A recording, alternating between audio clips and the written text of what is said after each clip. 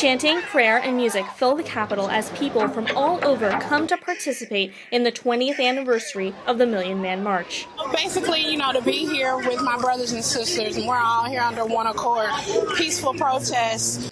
This year's theme is justice or else. Or else our children won't get the education they need, or else African American males will continue to be the largest population in the prison in the prison system.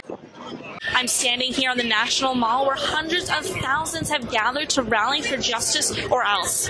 Some have been here since 6 a.m. and more are still coming in. People are here to celebrate progress, but also to fight for more. 20 years ago, we came for justice. 20 years later, we still come for justice. Today, families and protesters gather together to combat long-standing issues. Negative stereotypes, law enforcement that doesn't treat us equally. As an educated black female, I find it hard to find jobs that are available for white women.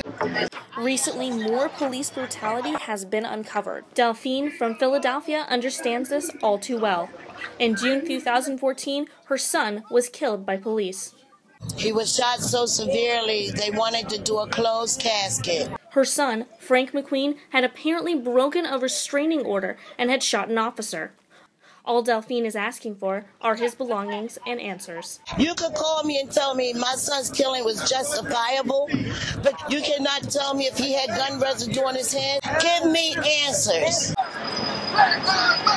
Delphine and others are looking to bring awareness to these issues and to create not only a change, but also pride. You know, we need to let our youth know and our young people know that it's okay to be black and it's okay to be proud to be black. Reporting from Washington, D.C., I'm Lauren Westberg.